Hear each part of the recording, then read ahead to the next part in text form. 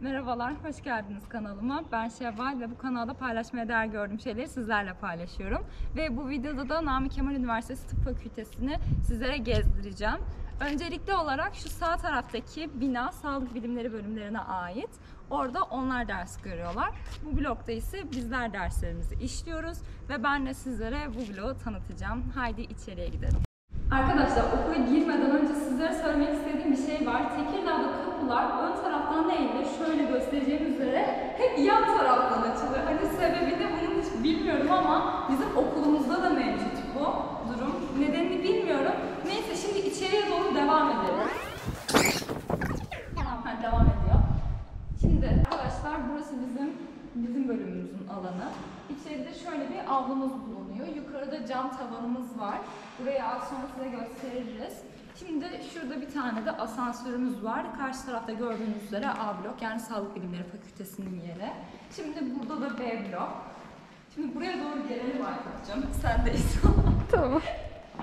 Büyük ihtimal açık değildir ama amfi birimiz var. Burası gördüğünüz üzere amfi bir. Biz derslerimizi burada işliyoruz ama neden e, kapalı olduğunu bilmiyorum.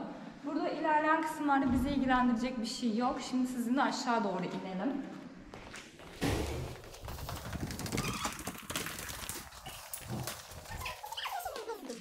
Şimdi de amfimize geldik. Biz derslerimizi burada işliyoruz. Yaklaşık 200 kişi falan. Ee, sonrasında işte burada kürsü var ve normal projeksiyonun yansıttığı yer. Klasik amfi. Bizim 5 tane amfimiz bulunuyormuş. Ben henüz 2 tanesini gördüm. Diğerleri de çok işimiz olmadı. Şimdi keşfetmeye devam edelim. Bu arada benim göstereceğim şeyler e, dönem 1'e ait olan kısımlar aslında. Çünkü diğer kısımlara hakim değilim. O yüzden sizlere dönem 1 gözüyle Nami Kemal Üniversitesi Tıp Fakültesini tanıtıyorum. Devam edelim. Şimdi anatomi laboratuvarının önündeyiz. Arkadaşlar bunun sadece önünde olabiliriz. İçinde sizlere gösteremem maalesef. Çünkü bu konuda hocamız e, göstermeme taraftarı diyelim. Gerçi sormadım ama yani fotoğraf çekmemize izin vermediği için genel olarak o yüzden video içinde sormadım. Size bu şekilde dışını göstereyim. Işıklarımızı söndürüp gezmeye devam ediyoruz. Şimdi anatomi laboratuvarından sonra da kek laboratuvarın, laboratuvarına gideceğiz. Kliniğe erken giriş derslerimizi orada alıyoruz. İşte kalp masajıdır vesaire, alçı yapmadır. Bir de size şimdi şu cam tavanı göstermek istiyorum. Burası benim çok hoşuma gidiyor. Hem doğal bir aydınlatma sağlıyor hem de burada ortak bir alan olması bence çok güzel. Özellikle şu şey, e, oturma yerlerini falan çok seviyorum. Çünkü her zaman e, sessiz çalışma ortamlarına ihtiyaç duymuyorsunuz. Kimi zaman ortak projeler yapmanız gerekiyor arkadaşlarınızla. Bu gibi durumlarda sessiz çalışabileceğiniz ortamlara ihtiyacınız oluyor. Her zaman da kafede çalışılmadığı için ben bu alanları çok seviyorum ve mümkün olduğunca kullanmaya çalışıyorum. Şimdi kek laboratuvarımıza gidelim. Maalesef bu laboratuvarın içinde gösteremeyeceğim. Çekim için cumartesi gününü tercih ettim. Çünkü diğer günlerde fakülte kalabalık oluyor.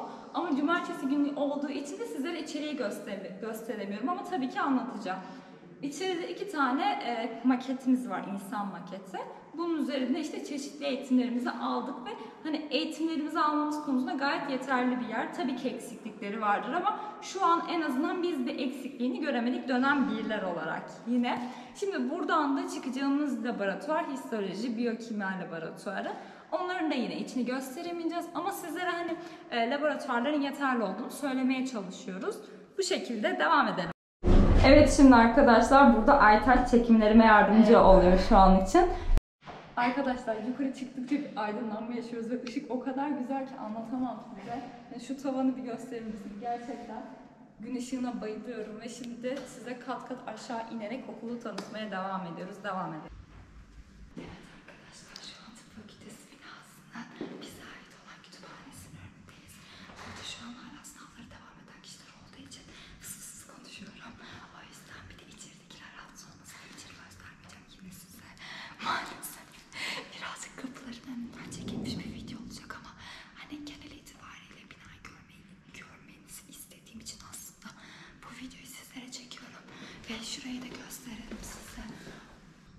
Okulun genel olarak çok izole bir yerindeyiz gerçekten. Hani etrafımız ağaçlık falan filan. Zaten okulun en yukarısındaki kampüsteyiz. Yani kampüsün en yukarısındayız daha doğrusu. Ve bu şekilde şimdi devam edelim. Işıklandırma, ışık çok iyi görünmüyor mu? Bak ben gerçekten bayılıyorum buraya. Şurada da intihar etmememiz için şey var. e, ipler var.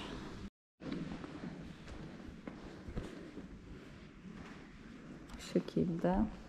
Burada da işte çeşitli derslikler var. Genellikle dönem 4, 5, 6 öğrencileri falan. Hayır 6 değil 4, 5 öğrencileri burada ara sıra derslere geliyorlar. Ne derslerine girdiklerini bilmiyorum. Şimdi size şöyle bir yere getirdik. Ve bakın hani gerçekten üniversitenin böyle en tepesinde bir yerdeyiz. Hani şu şekilde göstereyim sizlere de. Bu şekilde.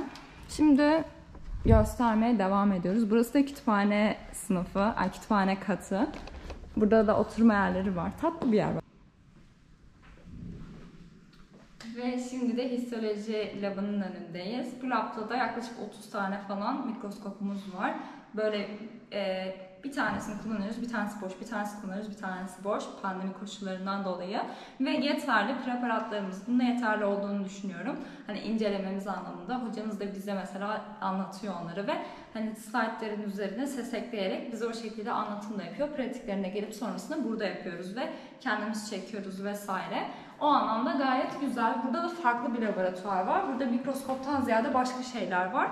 Ama hani biz onlarla hiç iç içe olmadık. Sadece buradaki e, araştırmacılar mı diyeyim veya e, asistanlar diyeyim daha doğru olur. Onların yaptıkları işte çalışmaları vesaire onların sonuçlarını görmüştük.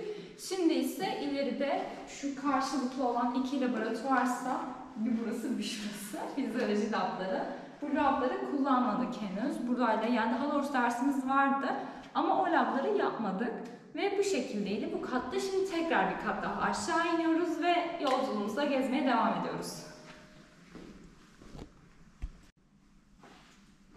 Şimdi ise biyokimya labının önündeyiz. Biz bu kısmını kullanmadık biyokimya labının. Daha fazla biyokimya labı var.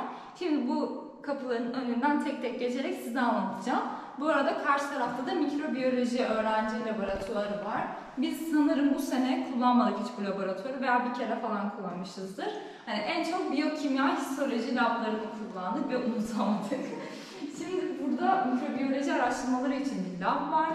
Buradan ilerliyoruz ve bu kısma geliyoruz. Burada biyokimya labı. Biz bu labı kullandık çok fazla. Özellikle ilk dönem hani sürekli burada dersimiz oluyordu. Haftada yani her hafta mutlaka bir labımız oluyordu. İşte kan falan da almıştık bir defa. O çok güzel bir andı benim için. Biraz da böyle şey trajik bir andı.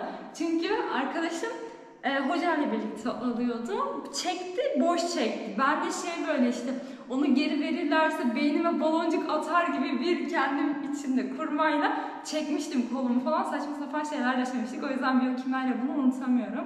Ama dediğim gibi maalesef içeriği sizlere gösteremiyorum. İmkan olarak yeterli olduğunu düşünüyorum. Yani yaptığımız çalışmalarda herhangi bir e, probleme yol açmadı. Hani teknik ekipman yetersizliğinden dolayı yapıp da isteyemediğim bir şey olmadı ve duymadım böyle bir şey.